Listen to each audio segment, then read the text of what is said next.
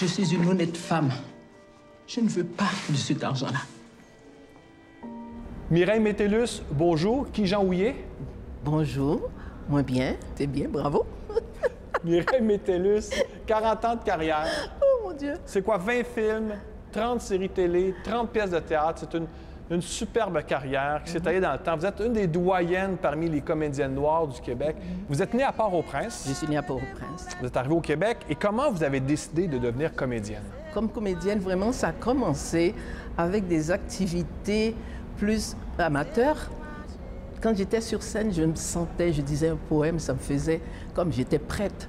Même si je n'avais pas fait les écoles, de toute façon, à cette époque, vous savez, peut-être que vous ne le savez pas, mais ce n'était pas évident pour une jeune noire de dire que je vais rentrer dans une école de théâtre de toute façon, dans les années 60, début 70. C'est dommage à dire, mais j'ai déjà eu la phrase qui m'a dit écoutez, il n'y a pas de travail pour le Québécois blanc, alors pensez-vous que vous allez en avoir vous? Mais j'ai toujours insisté, bien sûr. J'ai fait mes études euh, en tant qu'enseignante. Je suis orthopédagogue, intervenante psychosociale. J'ai fait des diplômes à ce niveau, mais toujours, et grâce au Black Theatre Workshop, que j'ai pu rencontrer des gens et j'ai pu vraiment apprendre sur le tas. Est-ce que je pourrais avoir la clé pour aller chez vous, Madame Désir? On t'a oublié, mes potes, là. Clé en or, moi. Votre premier grand rôle à la télévision, et corrigez-moi si j'ai tort, c'était dans Les Héritiers du Val. Eh oui. Quel souvenir gardez-vous de cette série-là? Ah, mon Dieu, c'est justement de me donner la possibilité justement de faire je pense que c'est dans Les Héritiers du Val que j'ai fait les, que je jouais le rôle d'une héroïnomane. Là, justement, j'étais une droguée. Ça, ça n'a pas fait plaisir à la communauté, à certains membres. Je me rappelle même, il y avait une, une lettre au lecteur, là, euh, dans, le, dans la presse, contre le fait que j'avais joué le rôle d'une héroïnomane. Et juste avant, je faisais une cardiologue dans Sous un ciel variable. Voilà. Et au théâtre, la même chose. Vous avez raison, il s'agit d'un infarctus à la paroi inférieure. Mais les signes vitaux sont stabilisés, le choc vagal est passé, donc pas de fibrillation ventriculaire, non.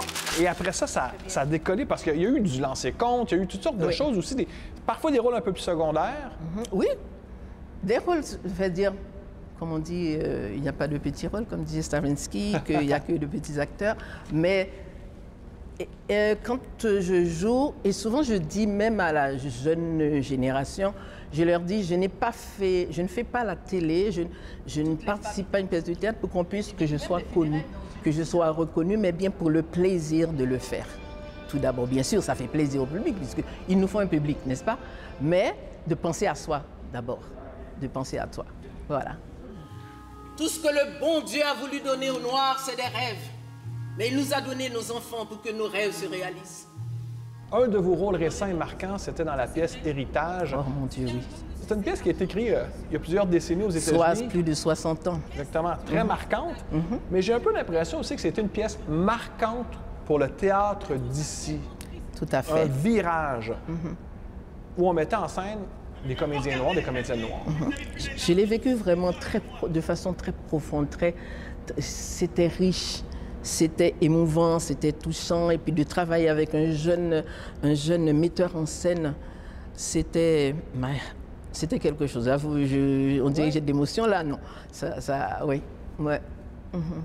Ouais, Oui. c'était- important aussi pour la communauté noire du Québec, cette pièce-là. Non, c'était un signal en quelque sorte. Oui, c'est un signal, mais en même temps, oui, c'est de voir cette ouverture-là et en même temps de voir que pour le grand public, parce que c'est pas, on ne présentait pas pour un public noir, c'est que tout le monde, mais effectivement, les Noirs sont venus parce que beaucoup, ils ont rempli la salle de, de- la salle de- du CEP parce que justement, ils se, ils se sentaient représentés. Tu vis dans un autre monde, mon gars. Dans mon temps, on avait peur de se faire lyncher, puis tout ce qu'on voulait, c'était de fuir au nord. Il y a eu beaucoup de chemin parcouru ces dernières années. Mhm. Maintenant, comment vous voyez la suite? De toute façon, la lutte continue. hein. La lutte continue, c'est une lutte. Il faut continuer. La suite, quand je vous dis tout, ce n'est pas une question de pour les Noirs seulement, c'est pour tout le monde, pour les autochtones qui sont ici, qui doivent se battre d'être euh, représentés. C'est une lutte continuelle. C'est comme, les droits des femmes. C'est pas parce qu'on a gagné telle chose qu'il faut arrêter, il faut continuer, parce que la jeune génération ne sait pas ceux qui ont lutté, n'est-ce pas? Moi, j'ai fait des grèves. hein. J'ai participé à des grèves pour qu'on qu'on obtienne quelque chose qu'on a aujourd'hui quand tout est tout à fait normal. Mais ça peut rester abruptement, abruptement comme ça, on peut couper et puis bang, il faut recommencer. Donc c'est une lutte, il faut toujours avoir l'œil ouvert, il faut être véatif. Mireille Métellus, merci. Merci à vous. Vraiment, c'est un honneur pour moi. Merci.